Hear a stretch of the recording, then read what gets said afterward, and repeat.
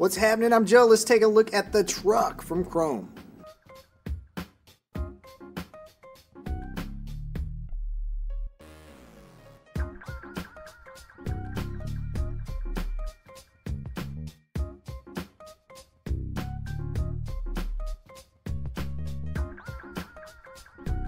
First thing you notice about this shoe is when you pick it up, it's incredibly lightweight. And that's thanks to the 1000 denier Cordura upper here. It's extremely durable, but keeps the weight down.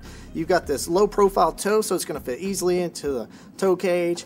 And a ton of cushioning in this footbed that is removable. It's got a lot of shock absorption and power going on in there.